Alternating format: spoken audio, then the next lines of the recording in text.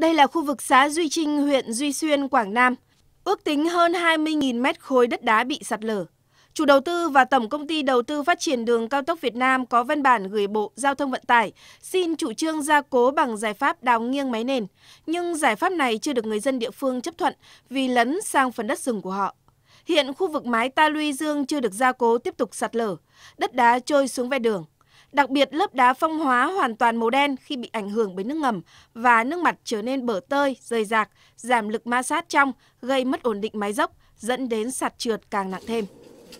Khó khăn bây giờ thì là ờ, thời gian này là đang tin mùa mưa.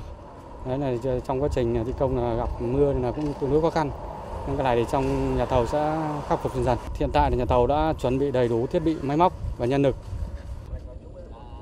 Chân cầu Kỳ Lam thuộc xã Điện Thọ, thị xã Điện Bàn, tỉnh Quảng Nam cũng xảy ra tình trạng sạt lở tương tự.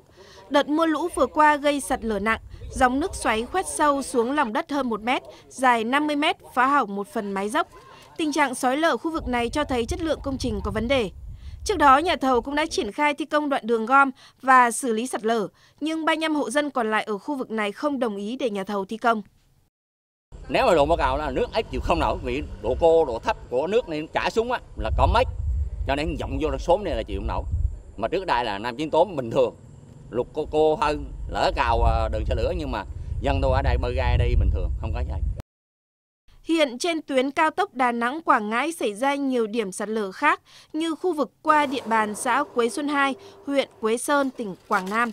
Mưa lũ cuốn trôi một phần đất ta luy dương nền đường, làm hỏng chân trụ của đường hộ Lan Mềm.